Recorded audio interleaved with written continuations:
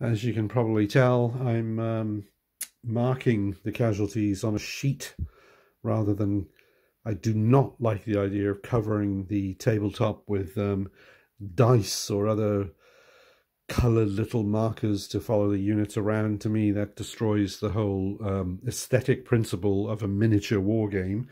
So it is um, it is a little extra work to mark it down on a sheet, and unfortunately that also means, of course, that you see no indication on the units of how badly they've been hit.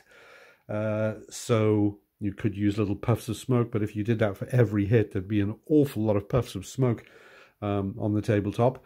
Um, I don't know. Anyway, so there's one more hit on that uh, unit here. So they've now been hit 12 times, and 15 times means they're removed, remember?